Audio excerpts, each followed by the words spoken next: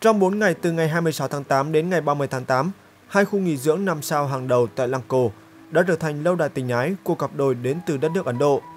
Được biết cặp đôi đến từ Ấn Độ vốn là chủ doanh nghiệp trong lĩnh vực xây dựng và thời trang đã quyết định chọn Lăng Cô làm điểm đến cho ngày trọng đại của mình sau khi thực hiện nhiều chuyến khảo sát. Với vẻ đẹp hoang sơ, những bãi biển trải dài cát trắng và dịch vụ đẳng cấp, Lăng Cô hoàn toàn chinh phục được trái tim của cặp đôi này. Để phục vụ cho đám cưới hoành tráng này, cặp đôi đã thuê gần trọn hai khu nghỉ dưỡng 5 sao liên kề với nhau, với tổng số 400 khách mời, tất cả được đưa đón bằng chuyên cơ riêng từ Ấn Độ đến Việt Nam.